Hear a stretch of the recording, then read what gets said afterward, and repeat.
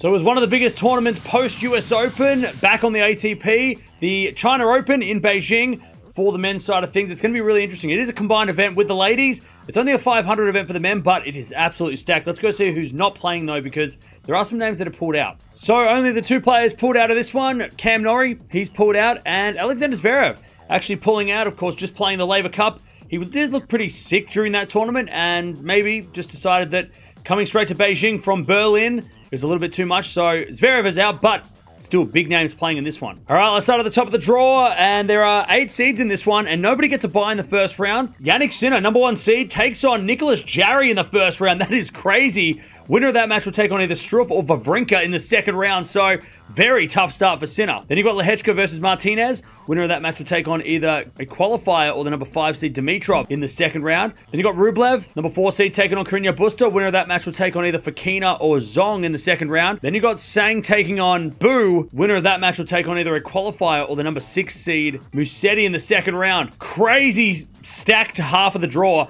And Sinner, who is obviously coming off winning Cincinnati, winning the US Open, playing so well over the last couple of months, has now got to play in a very tricky draw. Obviously, you got to watch out for Sinner in this section. You got to watch out for Rublev as well, Dimitrov, and of course Musetti, all guys who have been good at times this year, and of course Sinner being the best for the entire season. Also got to watch out for Jarry, who's just got himself back into some form. Zhang as well, you got to look out for because he's been playing really well as well in the last couple of weeks. And also Carreño Busta, I'd watch out for him there because that first round against Rublev, with Rublev not playing the best tennis lately, Carreño Busta could get him there, and he's been very good in his comeback. So, really interested to see who comes out of this draw, and if Sinner can handle this tricky draw. Bottom half of the draw now, we've got the number 8 seed Bublik taking on Cobolli. Winner of that match will take on either Zhou or Marozsan in the second round. Then you've got Mannarino taking on Sonego. Winner of that match will take on either Monfils or the number 3 seed Medvedev. That is a crazy first round match. Of course, beat, has beaten guys like Alcaraz over the last couple of weeks, and Medvedev has been in pretty bad form, so really keen to see how Medvedev handles Monfils in that one. Then you got the number 7 seed Khachanov taking on a qualifier. Winner of that match will take on either Cerundolo or another qualifier in that section. Then you got Griekspoor taking on Kecmanovic. Winner of that match will take on either Perricard or the number two seed Alcaraz in the second round. That is a tough first round for Alcaraz. Perricard, massive serving, especially on the courts of Beijing, which could be quick. And if they are quick like they were in the US Open in Cincinnati, maybe not that fast because Cincinnati was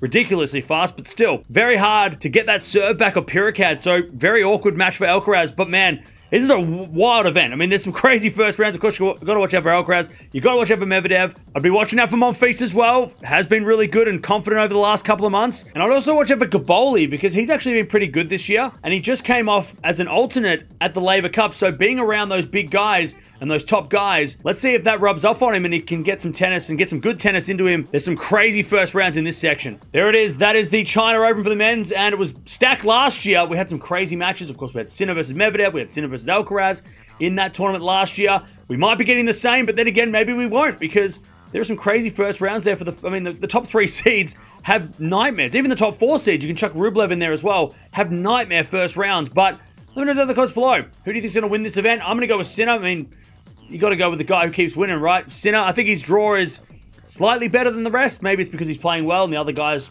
trying to get some form. But man, Beijing absolutely stacked again for this year.